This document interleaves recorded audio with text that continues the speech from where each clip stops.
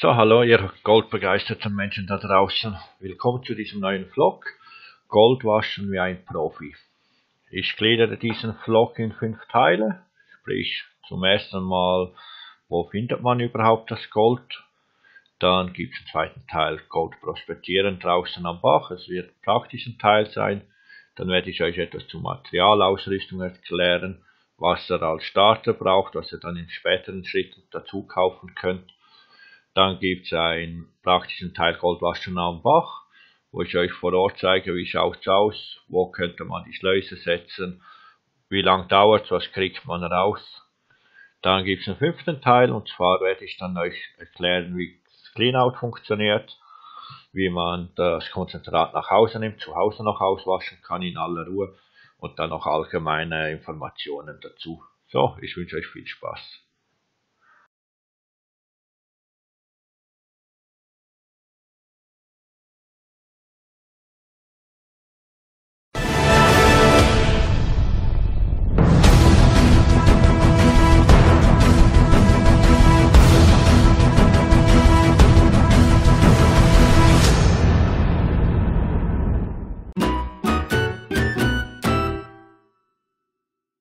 Zur ersten Situation, wir sehen einen Bach oder Fluss laufen. Wir wissen aus unserer Recherche, dass sich in dem Gewässer Goldablagerungen befinden.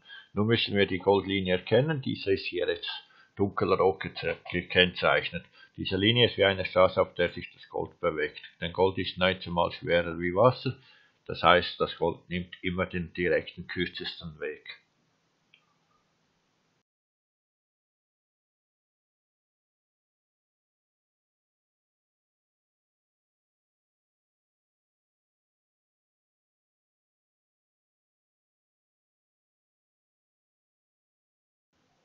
In der Innenkurve der Bäche oder Flüsse verlangsamt sich die Strömung. Auf dem Beispielbild ist der Bereich der Innenkurve und der somit verlangsamten Strömung mit Rot gekennzeichnet.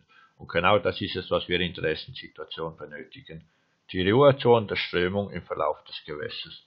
Denn nicht nur Schwermineralien wie Anglerblei, Schrottkugeln, Nägel, Schrauben sammeln sich dort an, sondern auch unser gesuchtes Gold.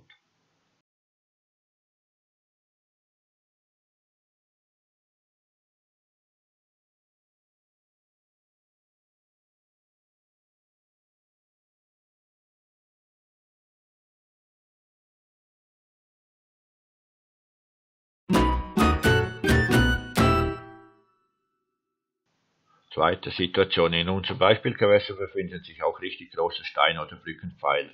Solche Hindernisse sind für das Gold wie natürliche Fallen, bei denen es ebenso zur Verlangsamung der Strömung und zur Ansammlung von Schwermineralien kommt.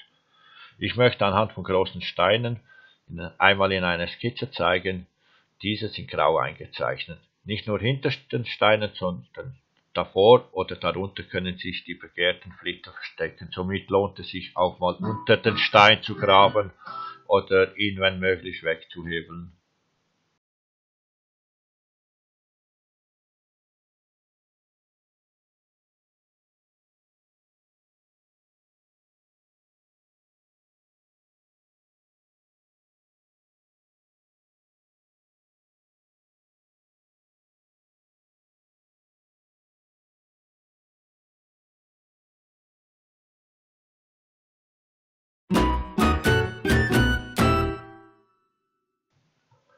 Dritte Situation. Nicht nur große Steine verändern unser Flussbett, sondern auch Kies und Sandbänke. Wenn sich eine Sandbank zum Beispiel am Ufer befindet, trifft die Goldlinie auf die Bank und das Gold wandert quasi um diese herum, bis sich das Gold in der Ruhezone der Kiesbank niederlegt. Somit sammeln sich die Schwermineralien bevorzugt dahinter, aber auch davor kann man fündig werden. Ist die Sand- oder Kiesbank inmitten des fließenden Gewässers, verhält es sich wie bei den großen Steinen in der zweiten Situation.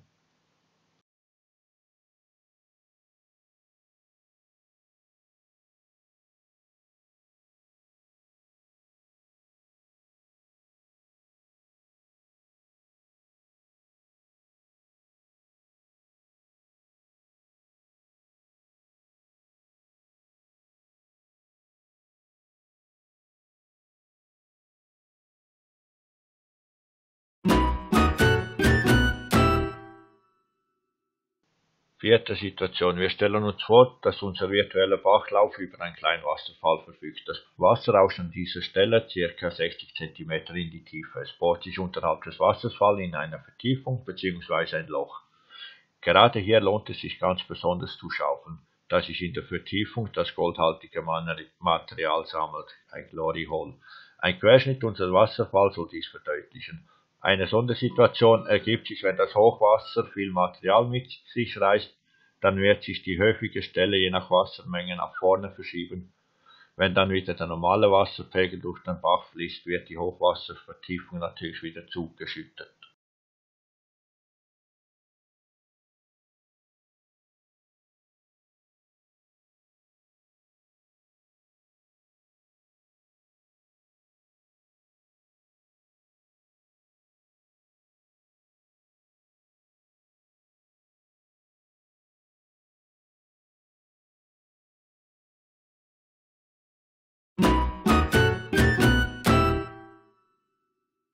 Fünfte Situation, wo ich gerade beim Hochwasser bin. Uns fällt bei genauem Betrachten eine große Steinfläche in Ufernähe auf, in der sich Ritzen, Spalten und Löcher befinden.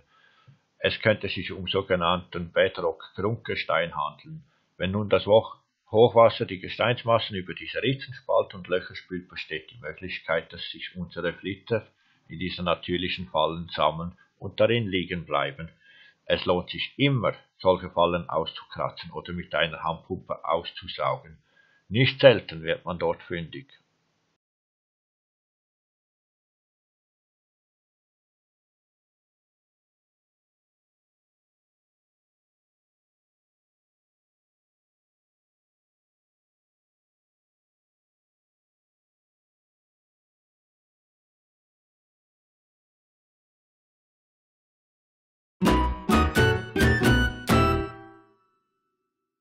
Sechste Situation. Wir bleiben nochmal beim Thema Hochwasser. Diesmal wird es etwas komplizierter. Der Winter ist vorbei und die Schneeschmelze in den Bergen ist im vollen Gange. Das bedeutet für den Goldwäscher nicht, dass es sich nicht lohnt, doch mal an seinen Fluss zu fahren. Denn in dieser Situation führt unser Fluss mehr Wasser als sonst. Dies ist nicht nur heutzutage der Fall, sondern war auch schon vor hundert Jahren so. Somit wird er regelmäßig breiter, die Strömung verändert sich, Kiesbänke wandern und auch unser Gold fährt weiter auf der Wasserstraße abwärts. Durch die Verbreiterung des Flussbettes wird sich die Goldlinie, sprich der Bereich der Goldablagerungen in, in den Kurven weiter nach oben in Richtung Ufer oder sogar darüber verschieben. In der aktuellen Skizze sehen wir den Verlauf unserer Gewässer bei Hochwasser. Der Fluss ist über die Ufer getreten und die Goldlinie hat sich verschoben. Die neue Goldlinie verläuft durch den Fluss in der Farbe Schwarz.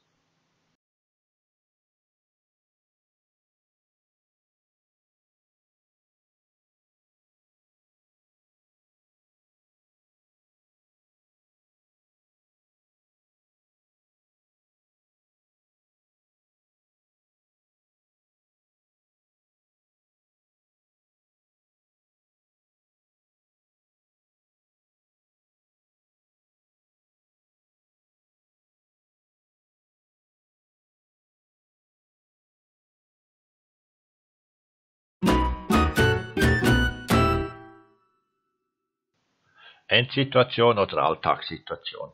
Wenn wir alle genannten Möglichkeiten und Varianten in unserem Beispielgewässer erkennen und kombinieren, können wir sehr gut sehen, wo sich die Goldkonzentration theoretisch sammeln. Dieser Vorgang nennt sich Prospektieren und ist einer der wichtigsten Vorgänge beim Goldwaschen. Denn ohne zu wissen, wo sich unsere geliebten Goldflitter befinden, kann man sie auch nicht finden.